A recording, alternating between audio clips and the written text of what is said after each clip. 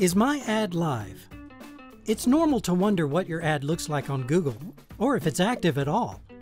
Many factors determine when your ads show, including your budget, ad quality, and competing ads. First, let's check your ad status in the Smart Campaigns dashboard, right here. These ads marked active, they're live. These, they are being reviewed. And these, the campaign they're in is paused. If you want to see what your ad looks like to customers, simply type Google Ads into the Google search bar and a preview of your ad will appear. From here, you'll also be able to see your ad status, spend, clicks, and impressions.